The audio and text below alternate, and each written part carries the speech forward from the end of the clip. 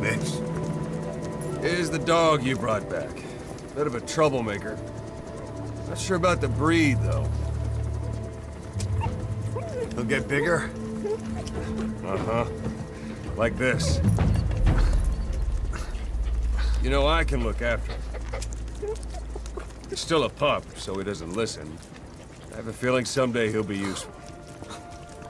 I suspect you discovered a real diamond in the rough. The little polish, I'd say we got a true diamond dog on our hands.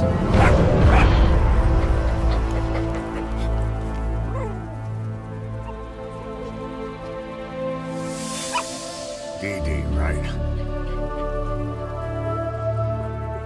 At raising hounds. Fine. Come on, Dee.